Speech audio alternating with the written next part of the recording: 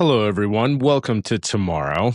Today is the 21st of September in the year 2025, and normally at this time we would be doing our live show, but most of our other hosts were unavailable this particular weekend. So I figured that in a way to make it up to you guys for not having our usual live show, I would still go over with you a few of the really awesome things that have happened this week in the space industry. Probably the biggest news item and most exciting to me is that the Viper rover, the lunar rover that has been canceled and uncanceled actually a number of times has gotten a ride to the moon. NASA has selected Blue Origin to deliver the Viper rover to the South Pole of the moon.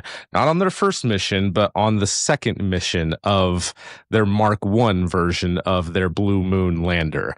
And technically, the announcement is actually a kind of sort of maybe announcement. This Viper rover, which as a reminder stands for Volatiles Investigation Polar Exploration Rover, its main mission is looking for lunar ice and ways to potentially potentially extract it. NASA, through the CLPS program, the Commercial Lunar Payload Services program, has awarded a contract worth $190 million to Blue Origin for a second CLPS mission of their Blue Moon. On their first lunar delivery mission, they're going to have a series of instruments on board the lander. And on the second lander, if everything goes well with the first mission, we'll have the Viper rover on board. I believe that the reason they've worded it this way as a kind of sort of maybe they're reserving the option to launch the Viper rover on the second Blue Moon mission is because if things don't go well on the first mission, then on the second, they'll just fly it with instruments again and keep testing out that system. Even in their announcement, NASA said that they would make the decision to exercise that option after the execution and review of the base task and of Blue First flight of the Blue Moon Mark 1 lander. Important part of this is that the rover has a targeted science window of 100 days that they want to operate on the lunar south pole to maximize the amount of sunlight exposure that the south pole would have. And it requires a landing by late 2027.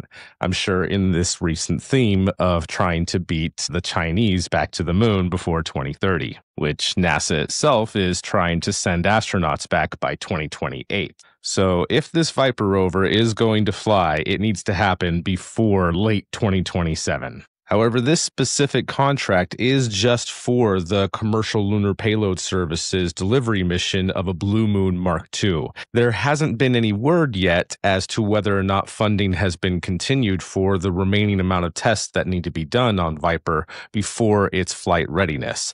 And I'm guessing keeping it in a somewhat state of storage before its 2027 launch date. Even though that hasn't been answered yet, considering how far along Viper is in its development and being basically 95% ready to, to go for a launch, there's a good chance that things will go fine. And if Blue Origin is able to successfully nail their first landing of the Blue Moon Mark 1, then it's almost a guarantee that Viper will be launching on their second mission. As of right now, Blue Origin wants to conduct the first mission of the Blue Moon Mark 1 before the end of this year. And they still have the Escapade mission to launch first for NASA, which is a mission sending two spacecraft to Mars. There's still a lot of work that needs to be done, and at least for the upper stages of Blue Origin's rockets that intend to launch both of those missions, they have been doing their cryogenic tests and static fire tests,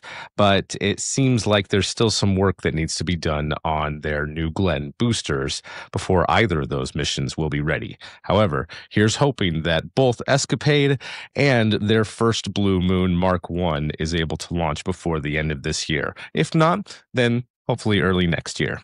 In other news, one of Europe's test projects to develop a reusable rocket like the Falcon 9 is getting closer to conducting their first hop tests. The group showed these photos of a fully assembled test rocket in the Themis project. This one's designation is Themis 1H, H standing for hop.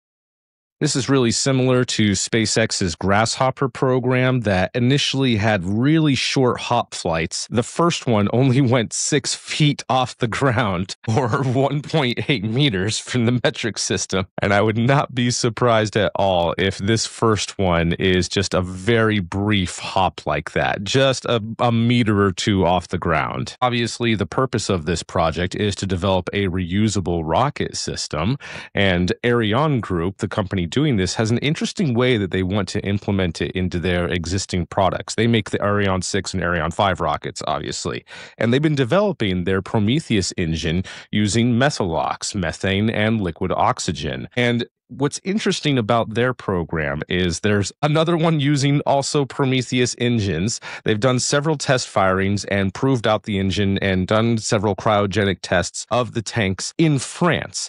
But they're going to be doing the hop tests in Sweden at the Esrange Space Center. If everything goes well, eventually, one of the first goals is upgrading the Ariane 6 boosters from solid rockets to reusable liquid boosters using these Methalox Prometheus engines engines. They would use three engines on the core. The first test version of the Themis rocket only has one engine for the first initial hops, but eventually they will have a three engine version and their plans from a couple of years ago of having a small launcher based on the same system is essentially the basis of the idea for MaiaSpace, which is a subsidiary of Ariane Group.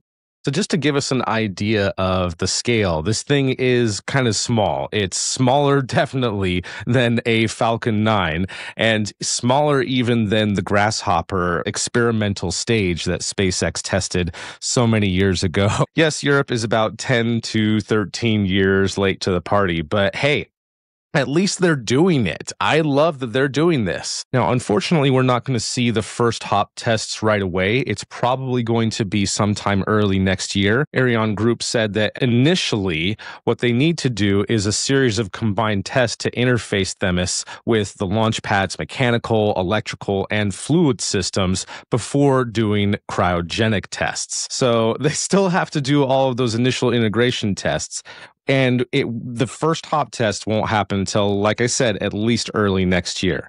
However as a quick reminder i want to show you how large the team that is working on this entire reusable project is. You're you're, you're going to be shocked. So at least as of 2013 this is it. This is the entire themis team that is working on this particular reusable rocket project in all of europe. That's it They've already completed the first two goals, and once they complete their initial low altitude tests going to initial heights, then they'll introduce their new version, uh, the T1E, E standing for extended or evolved. That'll do some of the more high altitude flights until eventually doing much higher flights that would be a lot closer towards what real operations would look like. And that would be with a third vehicle, the T3 vehicle, which essentially looks like to me, even from this tiny little picture as probably an operational MaiaSpace vehicle. Hopefully, their team has grown since 2023 and they will be able to start achieving some milestones and goals with their program and be able to convince the directors and ministers of the European Space Agency to invest more funds and start evolving and eventually go from Ariane 6 to Ariane Next. That would be awesome. Anyhow, they are late to the party, over a decade late to the party, but I'm glad they're still doing it and I really hope it works. Meanwhile, American space station company VAST, after doing their structural test article and validating their design, have completed the welding of the actual structure that they intend to fly to space, the first Haven 1 module, and actually the only module they intend to fly like this. They have other designs in mind after this. But this is a tremendous milestone. There's still a lot of work that needs to be done to continue to outfit this into a proper space station. And they have to complete their Haven demo mission, which is their demo satellite, testing out solar panels, batteries, and all sorts of other systems for this space station module. And as a matter of fact, they've been doing quite a few tests on that demo satellite.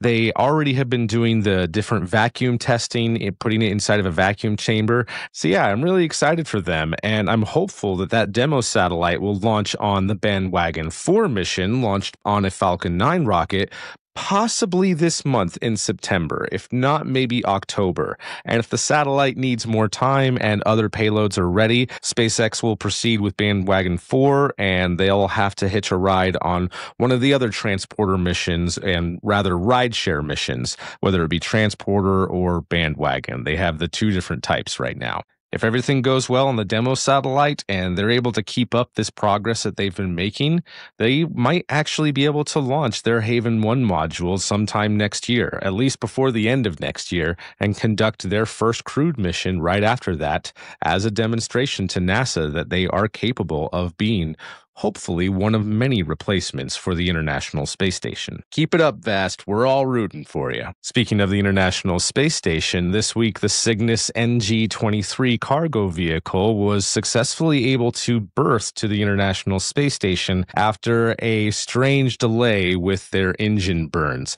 I made a space pod about that, which, if you haven't watched already, you can watch right after this. To wrap things up for this video, I did want to show some really cool footage that came out this week for what are otherwise becoming mundane missions. SpaceX launched a couple of batches of Starlink this week, and what was impressive about it was the timeline, the launch timeline. As the launch progressed, you notice it starts to have a curve. And for those of you who are following the space industry closely, you noticed this already, but I thought this was such a cool upgrade to their timeline and their user interface there, essentially. And they repeated it twice in a row so this is a permanent upgrade, and there is all sorts of potential for this graphic. I know it's just a dumb little graphic, but there's potential for it to be all sorts of crazy awesome for geosynchronous missions or lunar missions or someday Martian missions. So I am really looking forward, even though it's just little graphics to help us follow along to what's going on on screen. I'm looking forward to what else they have in store for us in the future. Finally, if you haven't seen it, Jeff Bezos shared this footage of a recent flight of their suborbital New Shepard rocket. And this was actually the last flight of this particular capsule, their H.G. Wells capsule. And they had a camera on board and he shared this footage of that. It's two 180 degree cameras Oh my goodness. Look at this. This is absolutely crazy. It's two 180 degree cameras that that's what this bubble is that we're seeing rotating on the screen. This is just some of the coolest footage ever of a point of view outside of the rocket, of seeing the rocket and the capsule float away. I, I cannot advocate more for all launch companies to do this, to just throw on cameras that what we're seeing is a, basically a, a 360 camera that is spinning like crazy, two 180 degree cameras that are spinning like crazy. And what they've done is they stabilized this so that we would have this focus on the rocket. I know that this is just a boring old New Shepard suborbital flight, but this is some of the coolest footage that I've seen in a while, and I would love to see this on even all the boring Starlink launches of Falcon and basically every single flight of a rocket. This would be awesome. Just cool footage. That's it. They were just doing suborbital experiments on this one, including a bunch of student experiments. And like I said, it's almost becoming mundane at this point. So, yeah, that's all I got for you guys today of things that have happened over this past week. I am apologizing that the rest of the crew could couldn't be here and us have our usual discussion that we normally have.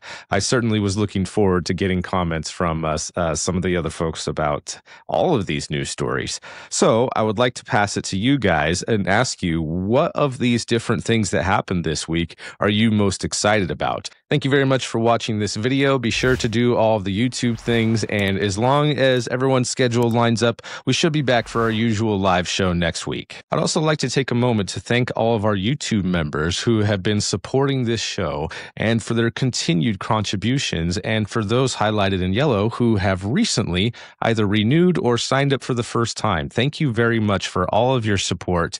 We couldn't do this without you guys, and every single little bit helps. If you're not already, you can support us for as little as a dollar a month to help us produce more space content. Thank you very much to everyone who is supporting us. That's all I have for you today, but until the next time I see you guys, keep moving onwards and upwards, and don't forget, per aspera, ad astra, through difficulty, to the stars.